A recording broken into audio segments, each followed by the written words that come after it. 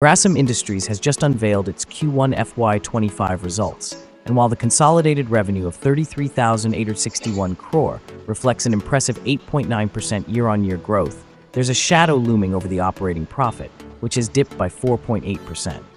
The net profit margin has taken a significant hit, down 23.4%.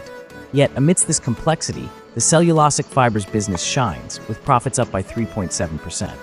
The cement division is on a roll, adding 8.7 million TPA in new capacity, pushing the total to 154.9 million TPA. Their inorganic growth strategy is clearly paying off. Birla Opus is making waves, reaching over three 300 cities, garnering positive responses from both trade channels and consumers. The financial services arm is thriving too, with a lending portfolio surpassing 125,000 crore, a remarkable 27% increase. And in chemicals, specialty revenue contribution is climbing, now at 30%, with chlorine integration hitting record levels. It's a mixed bag, but there's undeniable momentum.